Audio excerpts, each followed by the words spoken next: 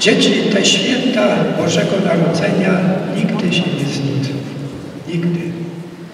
Ile razy się powtarzają, są takie same albo jeszcze lepsze. I trzeba zadać sobie pytanie, komu to zawdzięczamy, że tak pięknie się przedstawiły te jasełka? Komu? Bogu, Panu Jezusowi, który przyszedł na świat, narodził się, stał się dzieckiem ponad dwa tysiące lat. Pokażcie mi święto, które trwa tak długo. Nie ma. Były, nie ma. Święta Boże Narodzenia się nie znudzą, bo to co Boże, to się nigdy nie znudzi. Ktoś powiedział, że tam, gdzie jest Pan Bóg, tam jest wszystko tak jak trzeba. Jest miłość, zgoda, przebaczenie, bo tam jest Pan Bóg.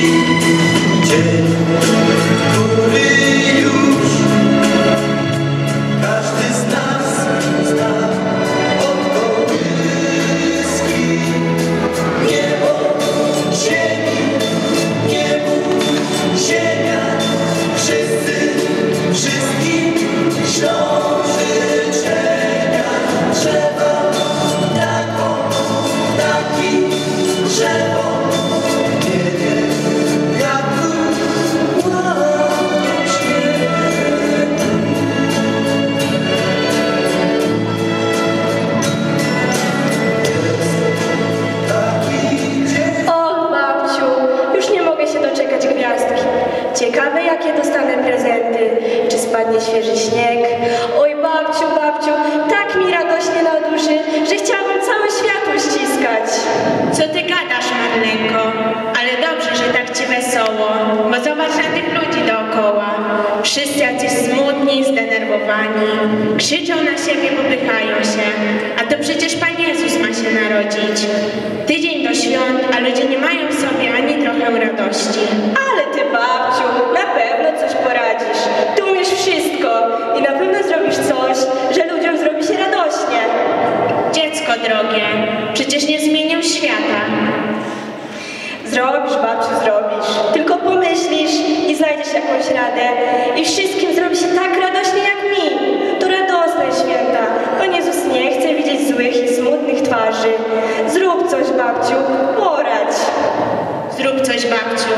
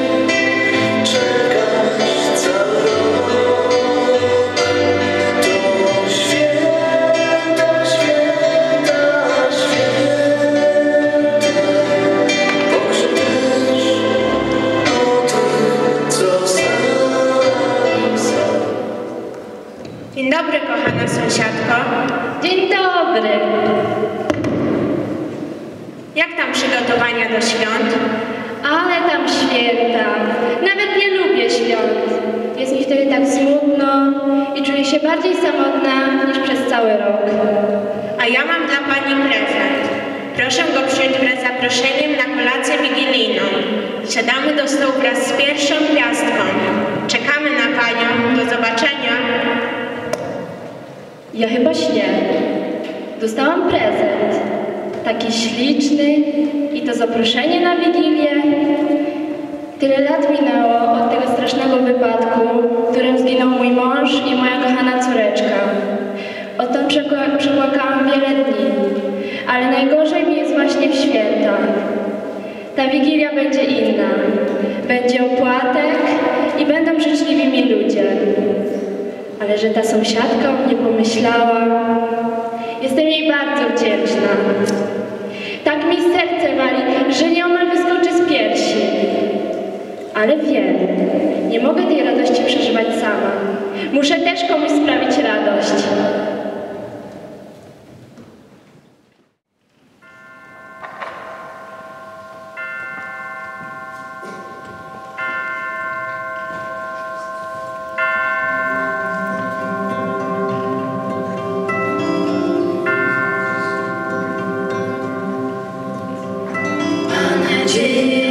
us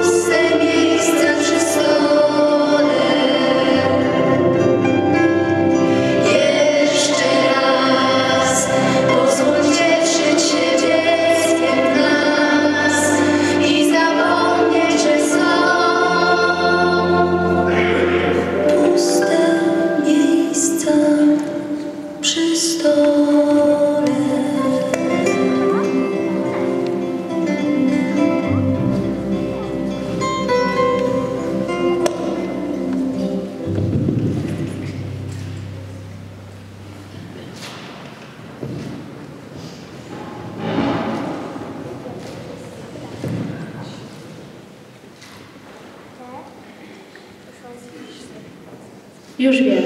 Panie Ramie, niech pan poczeka. Czego? Nie mam czasu. Wszyscy śmiedzą i rzucają papierki, a ja muszę to sprzątać i sprzątać. Mam dla pana prezent. Wkrótce święta. Proszę, niech pan przyjmie wraz z najlepszymi życzeniami. Oszalała baba. Daje mi prezent. A co ja, dziecko jestem czy co? A prezentu nie dostałam od nikogo. Przez chyba 30 lat. Jakie to dziwne uczucie. Dostać prezent. Jak się robi jakoś radośniej. Wszyscy się ze mnie wyśmiewają. że Zamiatacz ulic. A to tak niespodziewanie. Dostałem dar. Taki piękny i błyszczący. Ale ja na te święta chyba też kogoś uszczęśliwię. Pójdę do Przemka. Ten biedak nawet nie ma domu. Kto mi tu łazi? To moje królestwo. A to ty, wejdź, no co tam stary? Przyniosłem ci coś. Masz, a to święta. Blisko. Przyjdź do mnie. I przyjmij ode mnie ten dar. Czekam na ciebie o 17. Teraz idę. Mam dużo roboty. Co się stało? Aż mi łzy z oczu poleciały. Ten stary łajdak mi prezent. Mnie bezdomnemu. Co mu strzeliło. Ale ja się rozkleiłem. Chyba się rozpłaczę. Nigdy bym się nie spodziewał, że ktoś da mi na święta Nie, nie zatrzymam go dla siebie. Dam go pani Agacie. Ile to razy bym przymierał głodem, gdyby nie ona. To dobra kobieta, a też jej ciężko. Mówią, że taka pyskata, że taka kłótliwa, ale serce ma szczero złote. Zaniosę jej prezent, może sprawi jej radość.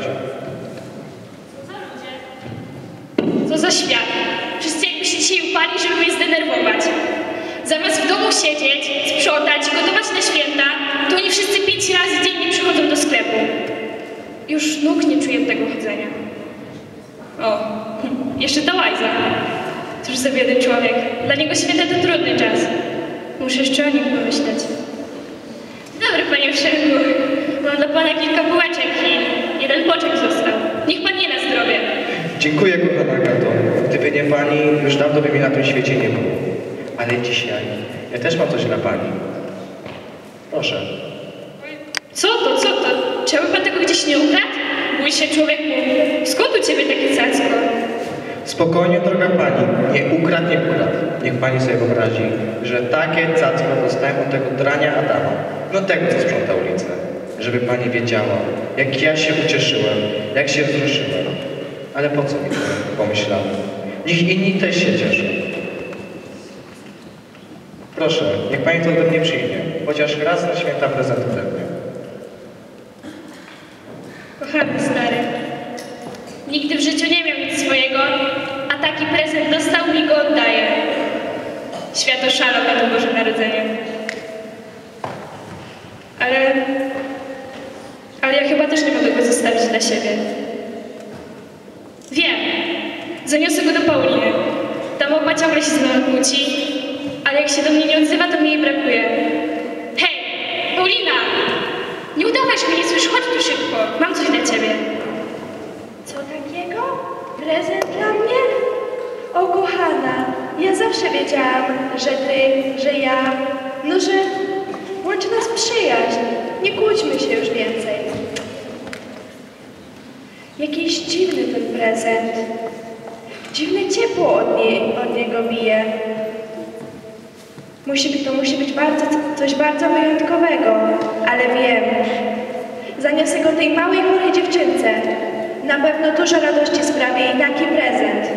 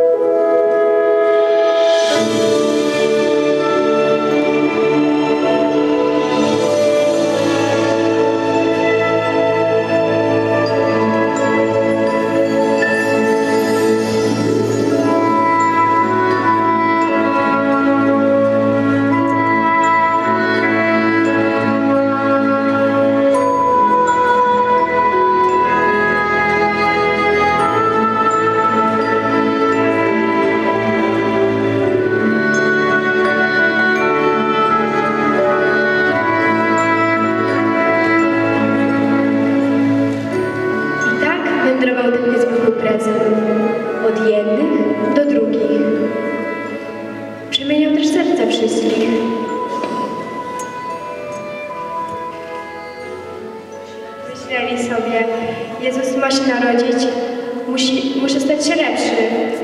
I przepełnieni dobrymi intencjami zanosili swój dar innym, którzy go bardziej potrzebowali. I tak pani Paulina zaniosła dar chorej dziewczynce. Dziewczynka poczuła się lepiej, zaniosła go invalidzie na wózku. Sprawiło mu to ogromną radość, więc postanowił ucieszyć innych i podarował go pijakowi, aby i on że Bóg w postaci Jezusa przyszedł na ziemię także dla niego. Niezwykły dar otrzeźwił pijaka. Pomyślał, przestał pić, a ten piękny prezent podarował pierwszej napotkanej dziewczynce, a była nią znajoma Marlenka.